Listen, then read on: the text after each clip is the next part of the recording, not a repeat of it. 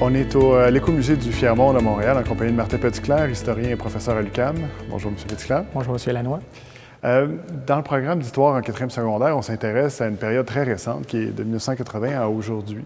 Euh, et des fois, on se demande si on a le recul nécessaire pour euh, regarder cette période-là de manière critique, de manière historique. Est-ce qu'on est capable de faire ça? Est-ce que c'est de l'histoire? Bien, je dirais deux choses à ce, à ce sujet. D'une part, il faut voir que euh, les années 80, c'est il y a 40 ans.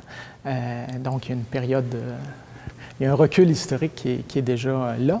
Euh, je prends l'exemple de la Deuxième Guerre mondiale. Euh, donc, on n'a pas attendu en 1980 pour, euh, pour commencer à faire l'histoire de la Deuxième Guerre mondiale, évidemment. si, je prends, si on prend la Révolution tranquille, on n'a pas attendu l'an 2000 pour faire l'histoire de la Révolution tranquille. Donc, le 40 ans est, une, est un recul historique ouais, qui, ouais. Me semble, qui me semble suffisant. Mais la deuxième, ma deuxième réponse à cette question-là, qui est plus sérieuse, donc si on est vraiment convaincu que la connaissance du passé nous permet de comprendre la société dans laquelle on est, bien, il faut faire cet effort intellectuel de, ouais, oui. euh, de vraiment comprendre, de questionner le présent à partir de, nos, euh, à partir de notre connaissance du passé. Et ça, ça me semble être un, un, un aspect essentiel du raisonnement historique et d'autant plus essentiel euh, lorsqu'il lorsqu'il doit être enseigné à des, à des élèves du, du secondaire. En effet. Dans les années 80, on assiste à l'émergence de plusieurs mouvements sociaux très diversifiés qui n'étaient pas nécessairement là dans la période précédente. Qu'est-ce qui explique cette diversification des, des mouvements, des actions euh, communautaires et euh, sociales? En fait, plusieurs groupes se constituent pour contester si on peut dire, les politiques néolibérales du, euh, du gouvernement euh, ou des gouvernements. donc, une volonté de la part des gouvernements de contrôler les dépenses publiques en matière de santé, d'éducation, etc. La volonté d'appuyer un développement économique qui, disons, ne tiendrait pas compte des contraintes environnementales, etc. Et donc, ce, projet néolibéral va rencontrer énormément de résistance de la part des environnementalistes, des groupes des femmes, des groupes étudiants, des groupes, des groupes syndicaux. Donc, donc, euh, voilà ce qui explique en, bonne partie cette, cette, ce développement, en fait, de, plusieurs mouvements euh, à partir des années 80.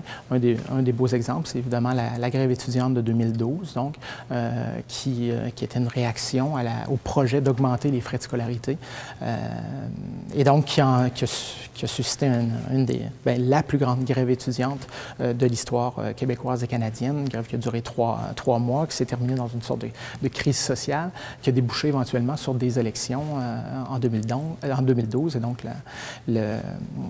l'élection du Parti québécois de, Pauline Marois. Donc, euh, voilà, cet, exemple de la grève étudiante illustre très bien euh, ce qu'on pourrait, euh, appeler euh, ce développement ou cette, éclosion des, euh, mouvements sociaux à partir des années 80 pour rendre compte en fait de cette diversité des groupes sociaux qui, euh, euh, qui, se manifestent à partir des années 80. On a de plus en plus parlé de ce qu'on appelle l'altermondialisme, euh, qui est en fait cette sorte de fédération des, de, ces, de ces divers groupes sociaux qui contestent en fait la, la mondialisation la mondialisation économique euh, de, l'économie.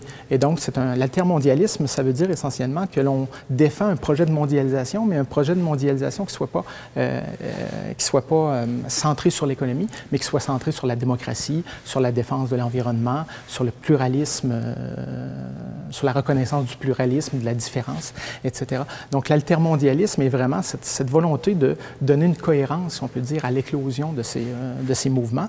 Et c'est d'ailleurs ce ce, ce, ce, mouvement altermondialiste euh, qui s'est manifesté en 2001 lors du, euh, sommet, euh, sommet, de, Québec en 2001.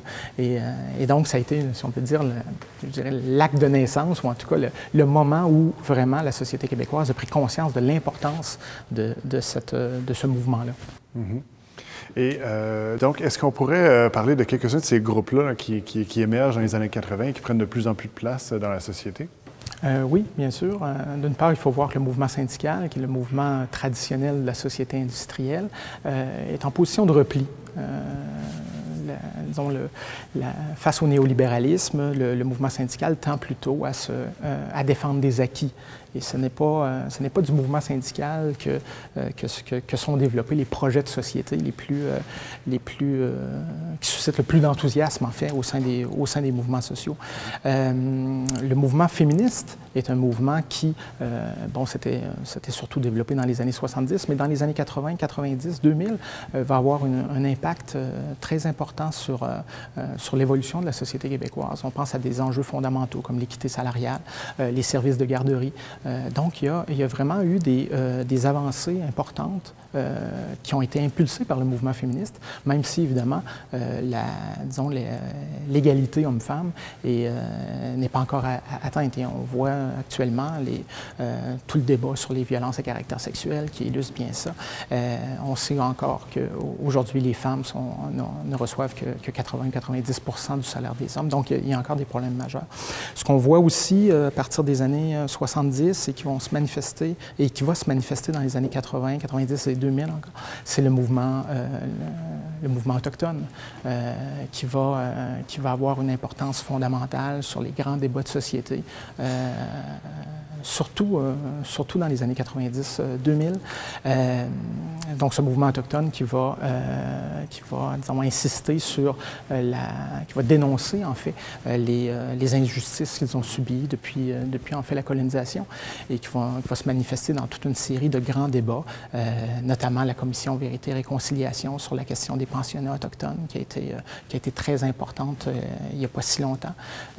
il y a encore aujourd'hui l'enquête nationale sur la, sur la disparition des femmes autochtones, euh, qui, est, euh, qui est encore très, très d'actualité. Donc, le mouvement autochtone a été, euh, a été, très important et de, plus, de plus en plus important, je dirais, dans la, discussion politique.